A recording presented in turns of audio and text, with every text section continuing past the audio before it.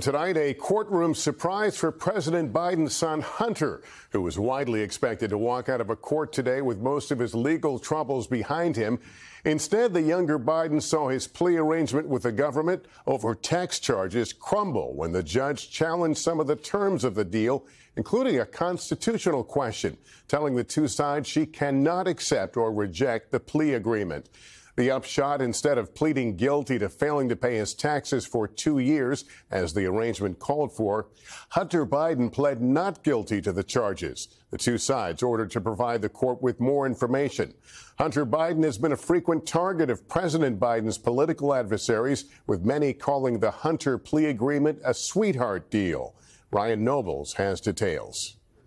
Hunter Biden entered a federal courthouse today hoping to bring to an end his legal problems. It did not turn out that way. Tonight, in a stunning move, a federal judge refusing to sign off on his controversial plea deal. Judge Maryellen Noreika, a Trump appointee, saying the agreement contained atypical provisions and she needed more information. Telling the lawyers, quote, I am not in a position to accept or reject this plea agreement, so I'm going to defer it. At one point, as the deal was unraveling, Biden's attorney declaring, quote, we'll rip it up, while prosecutors revealing their investigation into Hunter Biden is ongoing, and the deal would only absolve Hunter of legal issues between 2014 and 2019, and only on drugs, taxes, and firearms charges. Hunter Biden today pleading not guilty to the tax charges. The delay in the case, a further political headache for the White House. This case was handled independently, as all of you know by the Justice Department under the leadership of a prosecutor appointed by the former president, President Trump. The original plea agreement sparking outrage from Republicans, blasting it as a sweetheart deal for the president's son, which allowed him to avoid prison time. The Attorney General has said that U.S. Attorney David Weiss has full authority to bring whatever charges he wanted.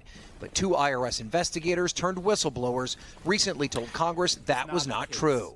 It appeared to me, based on what I experienced, that the U.S. Attorney in Delaware in our investigation was constantly hamstrung, limited, and marginalized by DOJ officials as well as other U.S. attorneys.